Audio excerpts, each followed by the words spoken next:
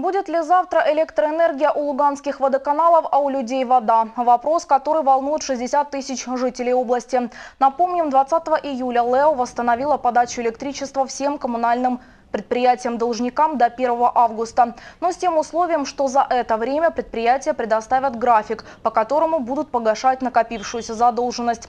По словам Владимира Грицая, генерального директора ЛЭО, большинство водоканалов предоставили графики, кроме Лисичанского. Он добавил, что если завтра не будет никаких денежных поступлений, то предприятия-должники снова будут обесточены.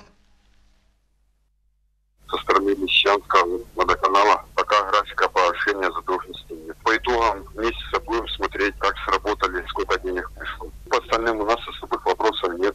Ждем денег от Попаснянского водоканала.